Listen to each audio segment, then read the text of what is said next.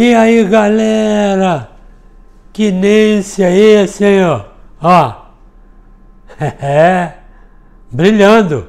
Cano. É o meu artilheiro. É o meu craque do jogo. Sem vinheta eu não entro. Sem like eu não comento.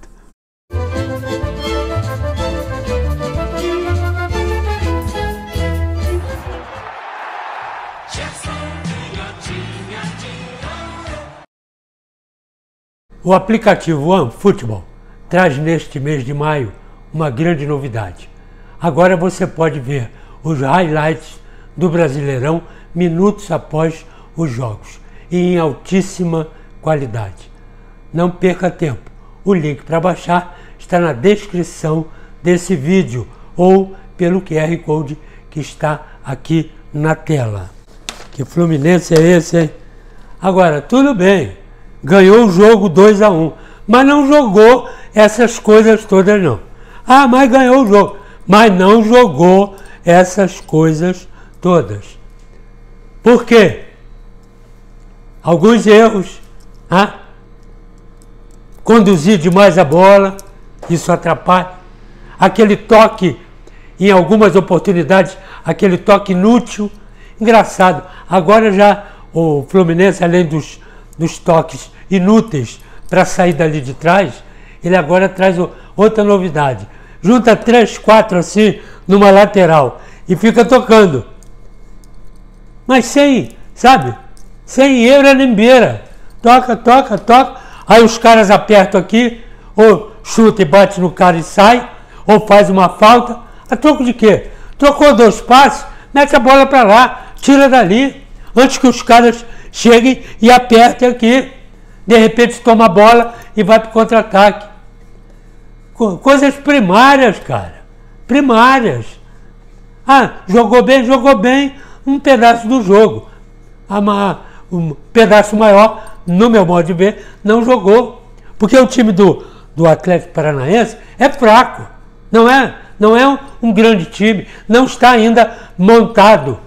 Dizem que né, veio estão chegando outros jogadores, aí tira um, bota outro. Filipão ainda não tem né, o time todo na mão. Estou dizendo taticamente, não tem. Tecnicamente, alguns jogadores, você tira aí os três ou quatro, tecnicamente bons jogadores. A defesa, por exemplo, é fraca. É fraca. O cano deitou e rolou. As bolas chegaram no cano lá dentro da área, quando deitou, rolou. Tanto é que fez dois gols. Inclusive o segundo gol, segundo gol, atenção, trocaram o passe, meteram no cano, ele dominou e meteu, meteu o gol. É isso que eu estou discutindo. Não é puxar o jogo para um lado e ficar como se fosse um bobinho ali. Não, não é isso. O jogo não é isso. O jogo não, não é isso. Agora, primeiro tempo, por exemplo, sete minutos, o lançamento do Wellington. Isso é que eu estou cansado de discutir. Cadê o cara da frente? Tá lá? Tá. Cadê o lançador? Tá aqui. O Wellington pegou a bola e olha que o Cano estava correndo no meio de dois. Ele meteu a bola lá do campo do Fluminense, pegou o, o Cano sozinho, Cano deu uma dominada, dois zagueiros.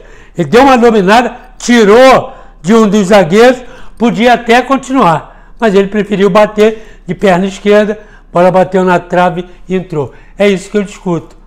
Cadê o lançamento pro, pro Luiz Henrique? Luiz Henrique está se metendo. Hoje ele foi bem, está se metendo na diagonal. Algumas oportunidades até, ele se juntou ao cano, lá dentro da área. Mete essa bola para ele. Ele tem velocidade.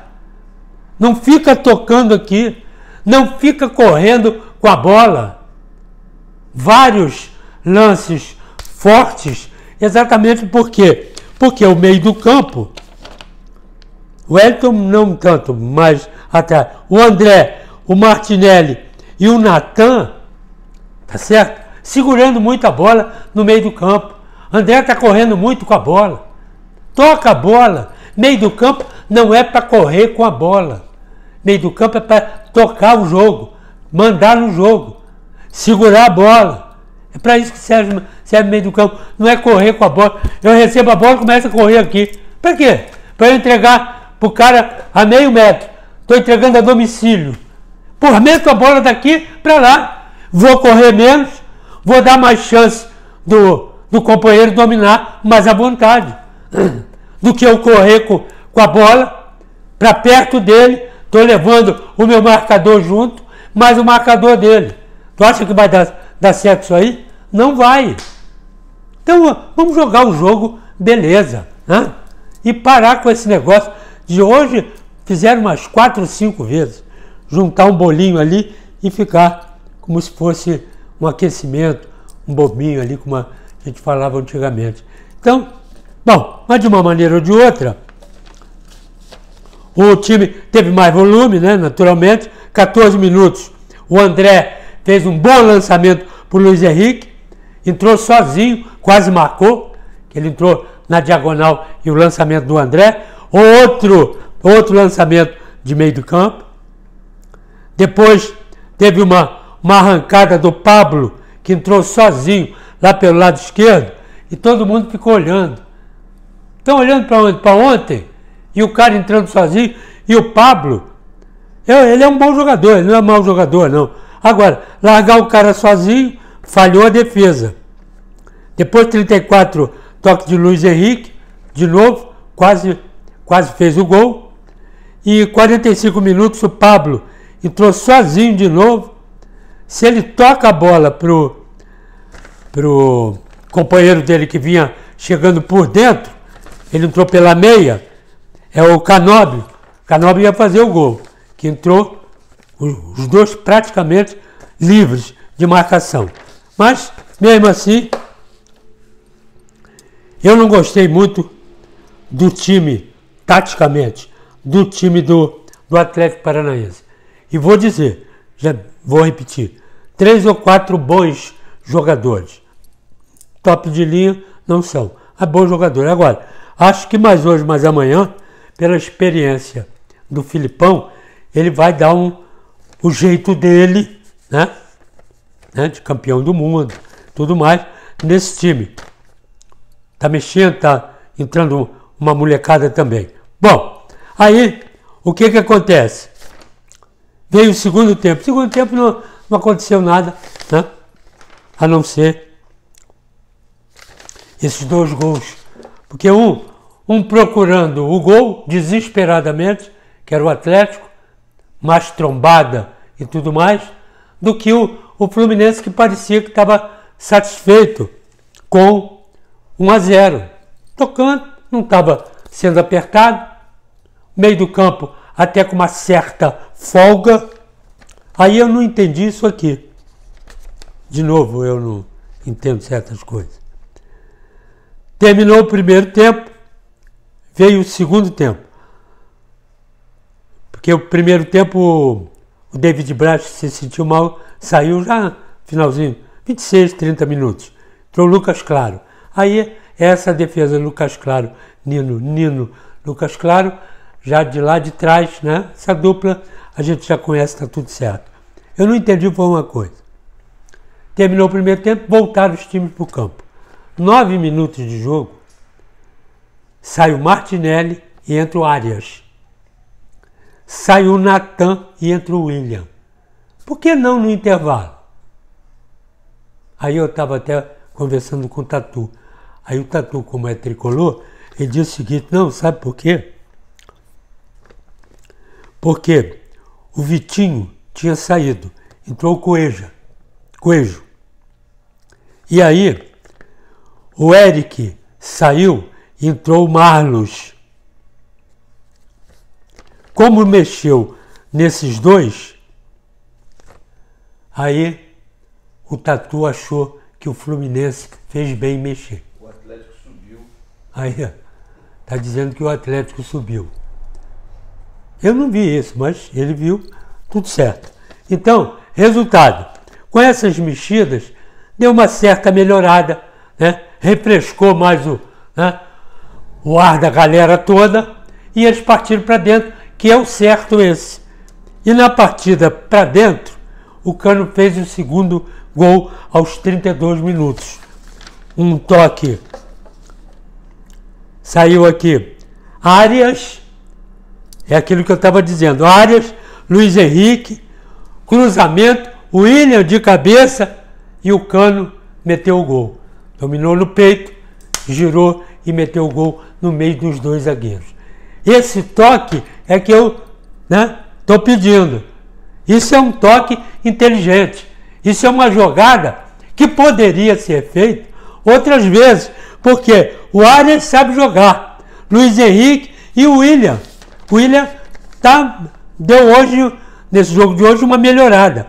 Agora, essa, esse toque de bola é que a gente está pedindo no Fluminense, sem, sem tentar, sabe, segurar, puxar, corre com a bola, toca a bola. Eles sabem fazer isso. Todo mundo aqui sabe jogar. Então, segundo tempo ficaram os homens de meio do campo, o Elton, André e o Arias. Lá na frente, Luiz Henrique, Cano e o William. Tudo bem, os três voltando um pouquinho, até que hoje não voltaram muito, ficaram beirando ali o, o grande círculo, e aí para o contra-ataque a coisa ficava melhor e fica melhor. Depois saiu o Luiz Henrique, do Caio Paulista, que não teve muita, muita chance, né? e também saiu o André, entrou o Nonato, e o time foi se equilibrando. Não foi um grande jogo, não foi. Taticamente não foi. Tecnicamente, para o lado do Fluminense, melhor do que o Atlético Paranaense. Mesmo taticamente, eu não gostei do Atlético Paranaense. Poderia, até com essas substituições, poderia até dar um gás maior. O Pablo saiu, entrou o Vitor, depois saiu o Canóbio, entrou o Pedro Rocha, que sabe, está arrastado. Ainda não está né, no, no contexto, ainda não está firme. E o Fluminense, com essas substituições, ele segurou o jogo, tocou mais, né, prendeu mais. Acho que poderia ter feito mais gols no time do, do Atlético, que aos 46, o córner, Matheus tocou, zagueiro tocou, rebateu na defesa, voltou para ele e ele meteu o gol. Não assustou, 46 minutos, não assustou o time do Fluminense, que, repito, nesse segundo tempo poderia ter feito até um pouco mais. Toque mais de bola, os laterais, Iago foi bem na lateral com uma boa cobertura do Wellington e normalmente do Nino. Mas o Iago sabe se virar. Você bota um pouco mais na frente, sabe se virar. Meio do campo, lateral, ele conhece por ali. Ele sai jogando, toca bem a bola, não assusta. O Pineda é mais marcador. Quando ele apoia, apoia meio desnorteado. E continuo dizendo, do meio do campo, né, precisa tocar mais a bola rapidamente. Parar de correr com a bola. E sair desse negócio de juntar e ficar tocando, tocando, tocando, sem sabe? Sem, sem render nada. Bom, mas ganhou o jogo, 2 a 1 um, bom resultado, e agora vamos esperar próximo, os próximos jogos. Né? Vamos saber como é que isso aqui vai funcionar. Meu craque do jogo, não podia ser outro, a não ser o Cano. Né? A baranga do jogo, eu vou botar o, o Siles. Entrou aos 15 minutos no lugar o Matheus Fernandes. Primeira bola que ele disputou, tomou cartão. E quase foi expulso, que deveria ter sido uma butinada que ele deu depois no, no Wellington. Tá certo? E o árbitro da partida, muito cheio de conversa. Eu vou dar dois para ele. Boa nota, hein? Dois. Por quê? Porque ele conversa muito. Ele, é, ele chega junto, mas conversa muito, argumenta muito, abraça. Árbitro não é para isso. Tá certo? Ah, não é para isso. Então, dois para ele, uma boa nota. Super live nesta terça-feira, a partir das 20 horas, tá certo? Com sorteio e brinde. Vários sorteios. E um outro detalhe importante: vem o jogo do Flamengo, depois da live, que a gente vai argumentar aqui depois do jogo. Tá falado? Beleza? Então tudo certo. É isso aí, galera.